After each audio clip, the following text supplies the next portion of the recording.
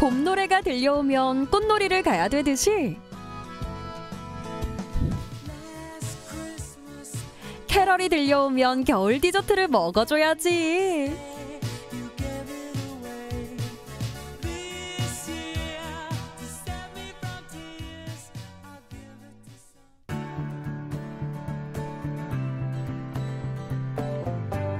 근교에 자리한 카페답게 주차장도 실내도 정말 넓다.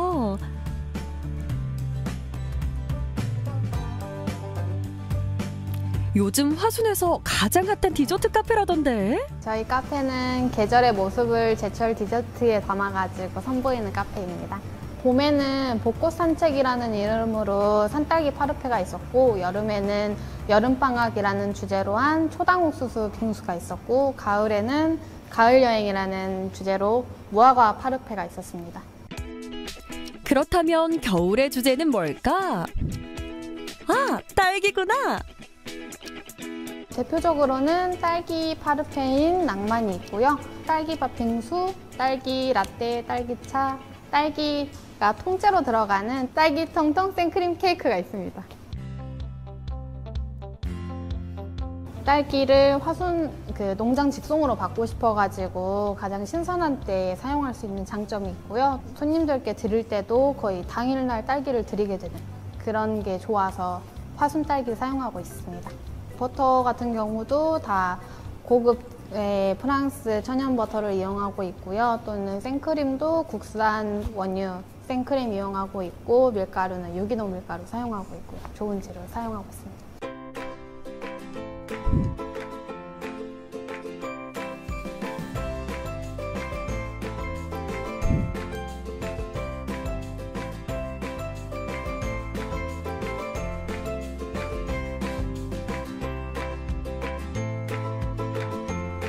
시트 사이사이에 크림과 함께 포개지는 딸기.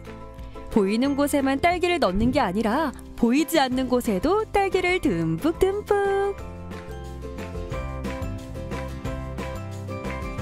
케이크 위에는 통딸기를 올려 마무리.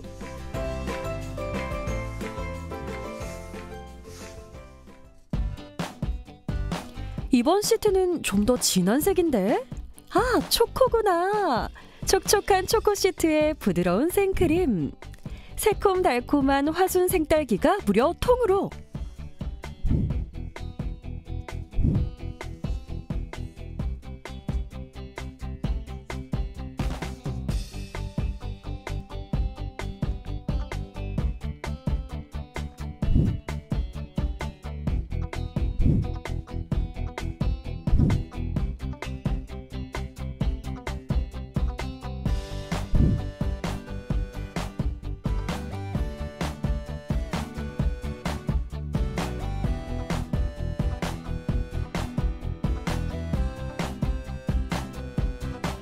딸기 케이크 맛있게 먹는 방법은 이제 구매하신 당일에 신선한 때 드시는 게 또 맛있고요. 또는 케이크마다 성격이 다른데 특히 빅토리아 같은 경우는 버터크림이라서 상온에서 좀 부드러운 상태일 때 먹는 게 더 좋기도 하고요. 폭신폭신한 빵과 부드러운 크림, 통통한 딸기.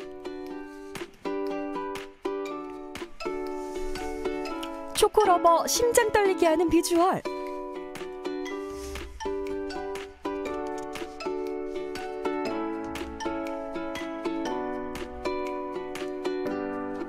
그야말로 딸기 파티네 딸기 파티. 크리스마스 같은 경우는 이제 예약이 몰리기도 해서 최소한 이틀 전에는 예약해 주셔야 되고요. 평소에는 이제 하루 전날 5시 전까지만 예약 주시면은 저희가 최대한 만들어서 드리고 있어요.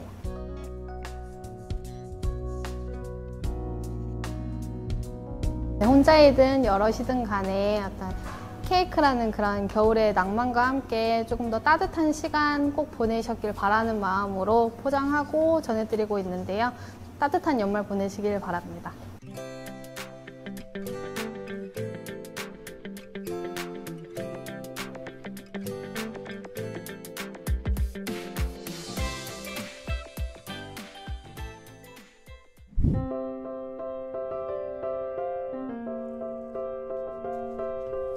동명동 거리에 빵내음 폴폴 빵순이 빵돌이들의 성지 중 한 곳인 이곳 어, 저희 가게는 2015년도에 오픈을 했어요. 딸 아이템형으로 해서 좀 더 더 맛있게 천연 발효종을 이용한 제과점을 운영하고 있습니다.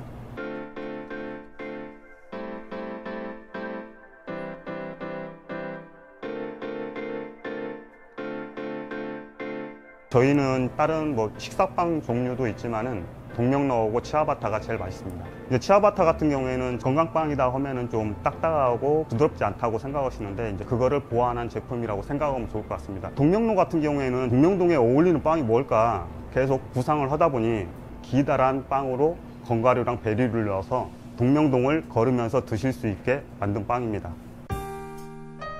어? 이 빵들은 좀 생소한데? 어, 쇼톨렌 같은 경우에는 독일 전통 빵이에요. 연인이나 가족분들이 크리스마스를 기다리면서 먹는 빵입니다.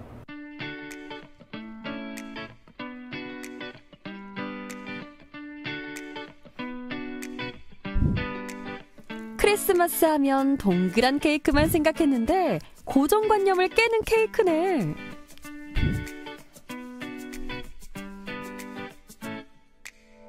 저희가 이제 건가류, 베리류 해서 이제 롬에 한 1년간 숙성을 시켜요. 숙성됨으로써 걔가 보존 역할을 많이 해주는 빵입니다.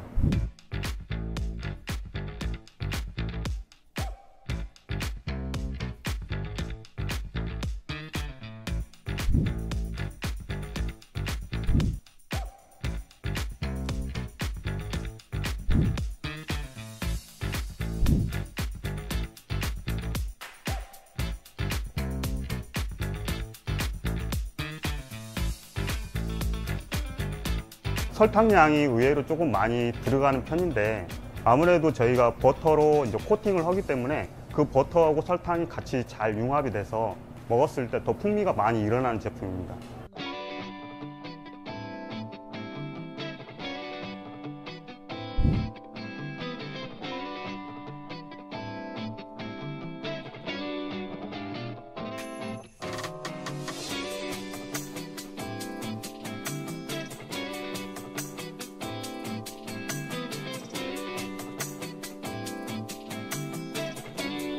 우선 드실 때 정 가운데로 커팅을 해서 이제 얇게 슬라이스를 한 다음에 이제 그걸 드시면 됩니다. 근데 남아 있는 빵 같은 경우에는 밀폐 용기에 잘 보관해서 실온에 보관하시면은 그날 먹었을 때하고 다음 날 먹었을 때하고 계속 풍미가 이제 틀려지는 빵입니다. 너무 달지 않을까 걱정했는데 부드럽고 고소한데? 커피나 홍차 뭐 대중적으로 그렇게도 많이들 드시기도 하지만은 와인하고 샴페인하고 드셔도 잘 어울리는 빵입니다. 자꾸 생각날 맛인데?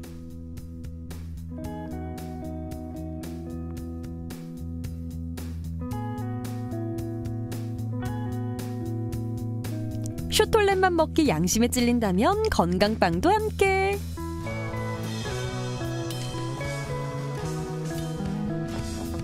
올 연말은 저희 제품인 슈톨렌을 조금씩 드시면서 즐거운 마음으로 이 한 해 잘 마무리하시고 내년에는 더욱더 건강한 모습으로 뵀으면 좋겠습니다.